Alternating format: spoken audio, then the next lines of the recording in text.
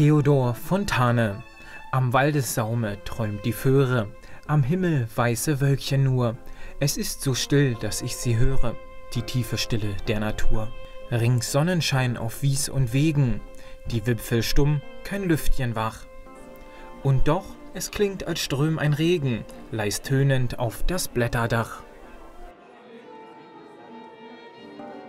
Märkische Landschaften und Textilbilder, der Himmel so weit, eine Wanderung durch das künstlerische Schaffen von Ulrike Seide. So der Titel der neuesten Ausstellung im Kleinmachnoer Rathaus.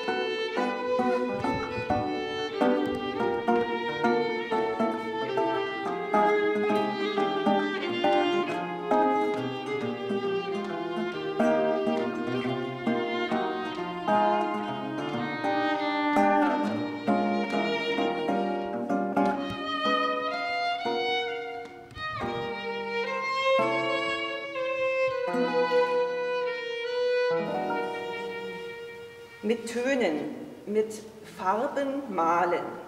Eine Fähigkeit, die der kleinen Ulrike in Westfalen wohl in die Wiege gelegt ist. Denn bereits in frühester Kindheit ist kein Stift vor ihr sicher. Und manche Wand und Tür dient ihr als Papierersatz, falls das Zeichenpapier ausgegangen ist.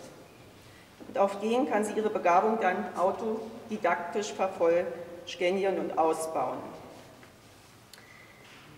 Die Lehrer entdecken schon früh Ulrikes Fähigkeit für sich selbst und so entsteht unter ihrer Kreide während ihrer Schulzeit manch professionelles Tafelbild zur Entlastung der etwas weniger begabten Lehrkräfte.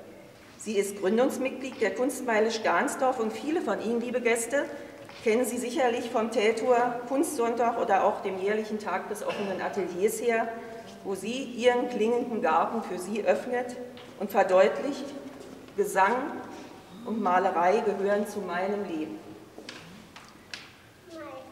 So begleitet sie ihre Ausstellungen häufig mit Gesang und Gitarre. Das geschieht alles neben ihrer verantwortungsvollen Tätigkeit an einer Sonderschule. Ulrikes Lieblingsmotive sind natürlich, naturverbunden, wie sie es selbst ist. Bäume, Wolken, Himmel und Wasser. Einerseits in ihren Stimmungen, aber auch die Architektur auf der anderen Seite. Ich denke dabei besonders an Ihre Bilder, auf denen man die Brücken der Umgebung oder auch die Plattenburg wiederfindet. Ich möchte einfach ganz kurz nur erzählen, wie ich zu dieser Ausstellung gekommen bin.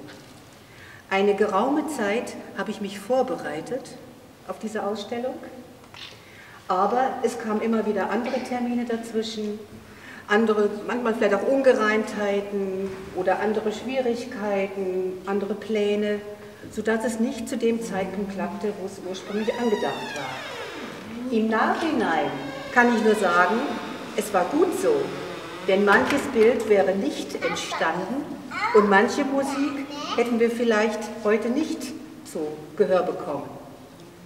So möchte ich ein ganz, ganz herzliches Dankeschön sagen. Erst einmal Ihnen, liebe Frau Schmidt, und Ihren Mitarbeitern, die im Vorfeld so viel organisiert haben und auch den den heutigen Raum, den heutige, das heutige Foyer so wunderbar gestaltet haben. Herzlichen Dank an Sie.